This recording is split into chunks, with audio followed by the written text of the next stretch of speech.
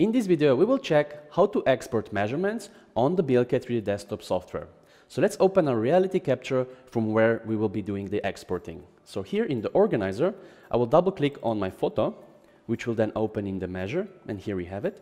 And you see, I already have a couple of measurements, and these are the measurements I will now export. So if you go to the toolbar, you see we have an export button here. So I'm clicking on it, and then you see I have three options how I can export. So the first one, the CMI. So the CMI is basically the native format that I can share then with anyone that has the BLK 3D desktop software and they can load it in and they can still do measurements on this existing photo. But if I want to share with someone that doesn't have the desktop software, or just want to share very quickly this information that you have measured, you can then either use PDF or JPEG. So the JPEG would basically be your photo with all the measurements inside. And the PDF is more like a report.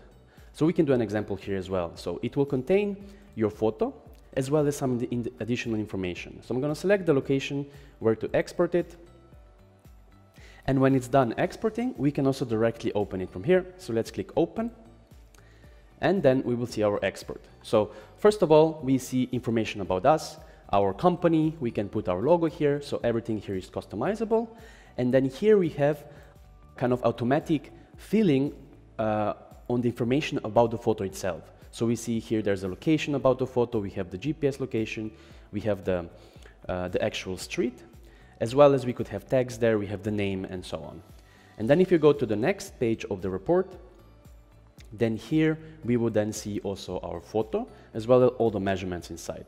And if you go a bit more down, there's also a table, again displaying the same kind of values, and it's just to have a better transparency if there are more lines around.